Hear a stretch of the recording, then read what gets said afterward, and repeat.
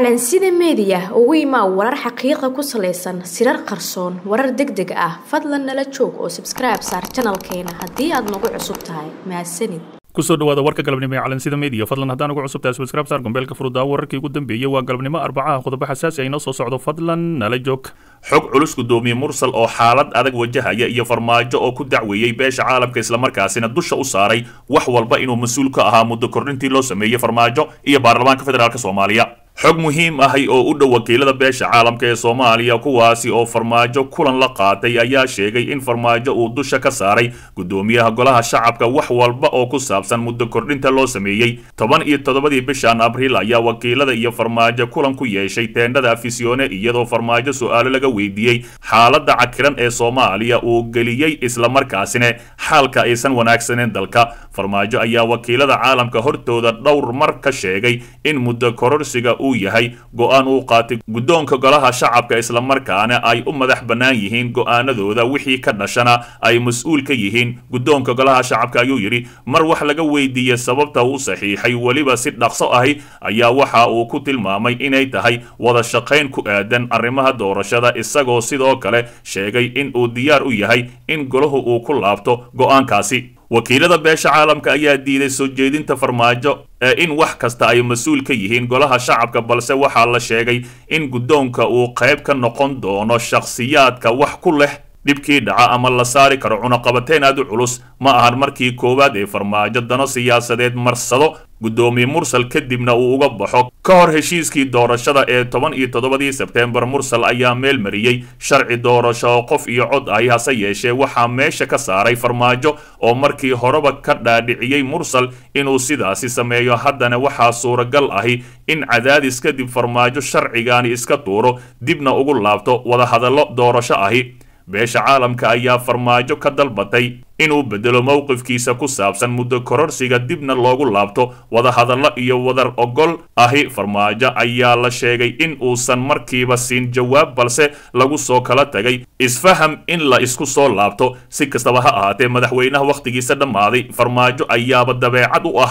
qof kasta uu la shaqeeya ama uu ku danaysto kadibna inuu badweynta ugu dhex tago mursal ayay iminka haysataa wax walba oo ka dhacay muddo kororsiga mursal ayuu dusha ka saaray. Mursalow iska bixi adigay ku haysataa maanta. Ama keligaa ayaa cunaqabateen lagu saari doonaa dhinaca kale wasiirka wasaaradda arrimaha dibadda xukuumadda xilgaarsiinta maxamed cabdirasaaq ayaa sheegay in muhiim ay tahay in doorasho soomaaliya noocay ahaataba ay noqoto mid xor iyo xalaal ahi la isku raacsan yahay dalka ay ka dhacayso mowqifka dowladdan aysan isbedelin. Wasiirka oo la hadlaya b b c da ayaa isagoo faahfaahinayay kulanka madaxweyne farmaajo uu la qaatay dhiggiisa dalkaasi koonko waxa uu sheegay in aan laga hadlin go'aanka golaha shacabka islamarkaasina weli uu yahay sidii islamarkaasina uusan waxba iska bedelin. Doorasho mid dadban iyo mid toos ahba waa inay ahaataa mid la isku raacsan yahay oo natiijadeeda ay noqoto mid dadka oo dhan ay ku qanci karaan. Waxna iskama bedelin go'aankii uu gaaray baarlamaanka ayuu yidhi wasiir cabdirasaaq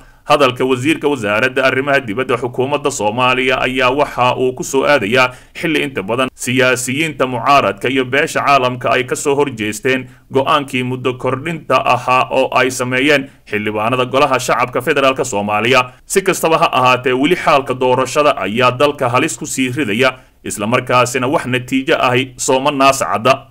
Dhinaca kale wariye ka howlgalaya magaalada boosaaso oo midi lagu dhaawacay wararka laga helaya gobolka bari ee puntland ayaa sheegaya in wariye ka howlgalaya magaalada boosaaso lagu dhaawacay gudaha magaalada kadib markii ay weerar ku qaadeen saddex nin oo midiyo ku hubaysan. Wariyaha oo lagu magacaabi jiray ficil burkud ayaa ka tirsan howlwadeennada warbaahinta daljir ee ka howlgala. Deegaanada dowlad goboleedka puntland wararka ayaa sheegaya in wariyaha ay dhaawac culus u geysteen raggaasi oo burcad ahaa waxaana ay waxyeeladu ka soo gaartay garabka midig gacanta iyo bowdada sidoo kale waxaa lagu soo warramayaa in kooxda burcadda ahi ay horay u sii qaateen teleefoonka uu watay wariyaha oo markii dambe isaga oo garaab ahi goobta laga qaaday. Ciidamada puntland oo kadib sameeyey howlgallo ayaa gacanta ku soo dhigay.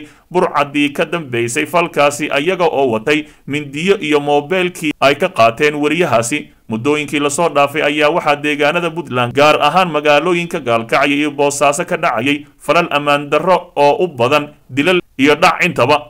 fadlan dib u daaw wararkeenii hore ee calansida meediya xog xasaasiya madaxweynaha wakhtigiisa dhammaada farmaajo oo ku dhacay arrin uu xasan sheekh maxamuud ugu digay hadda ka hor islamarkaasina iminka uu dhex fadhiyo.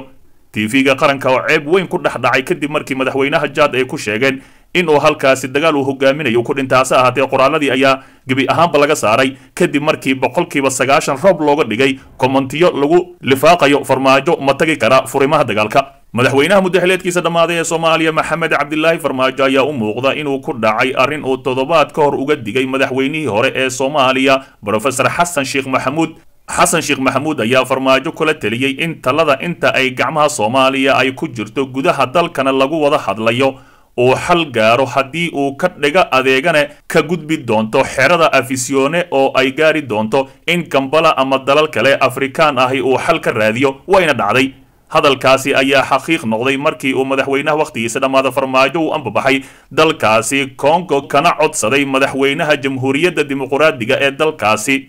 Inuu dhexdhexaadiyo saamileyda soomaalida ee ku muransan arrimaha doorashooyinka.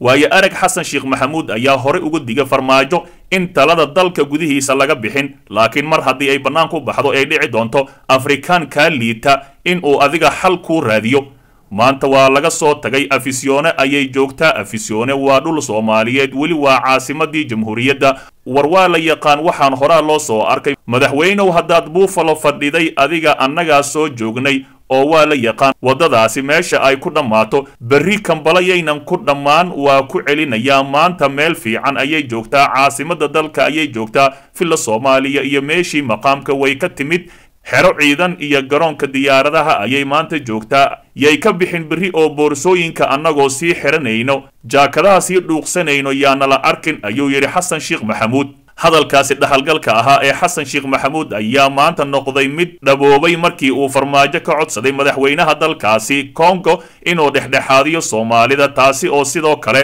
meesha ka saartay doodii farmaajo ahayd inuusan doonayn faragelin shisheeye ama in uu dalka ka noqonayo oday soomaaliyeed tallaabada madaxweynaha wakhtigiisa dhammaaday farmaajo ayaa sidoo kale bahdilaad iyo karaamo xumo ku ah ummadda soomaaliyeed iyo madaxdii hore oo muujiyey sharaf iyo karaamo inay u taagan yihiin dimuquraadiyadda soo jireenka ahi. Tallaabada uu qaada farmaajo ayaa ka dhalatay aqbalaad la'aanta soo jeedinta talooyinka mucaaradka maamul goboleedyada iyo in uu ku fashilmay muddo kororsigii labada sano oo uu xaqiiqda ogaaday in aysan soconaynin. Wax aan raalli laga ahayn si kastaba ha ahaatee farmaajo oo fadeexad dhex fadhiistay. Dhinaca kale warbaahinta dowladda oo laga tirtiray warka dilka madaxweynihii dalka jaad iyo falcelin ka dhalatay.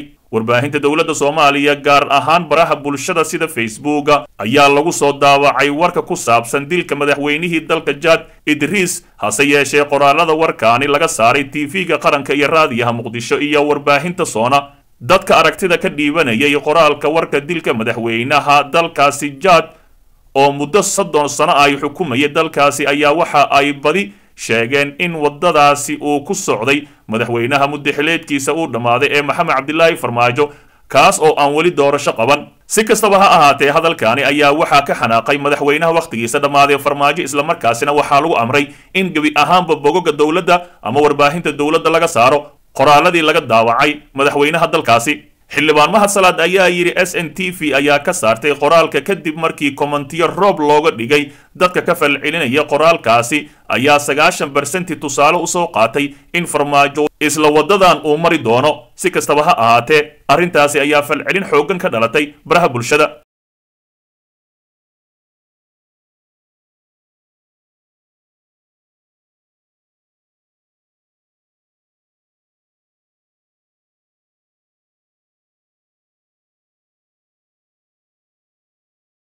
calansida meediya ugu imaa warar xaqiiqa ku salaysan sirar qarsoon warar deg deg ah fadlan nala joog oo sabskribe saar janalkeena haddii aad nagu cusub tahay. Mahadsanid dhegaystow ogow haddaadan xalka qayb ka noqon waxaad qayb ka tahay dhibaatada dalka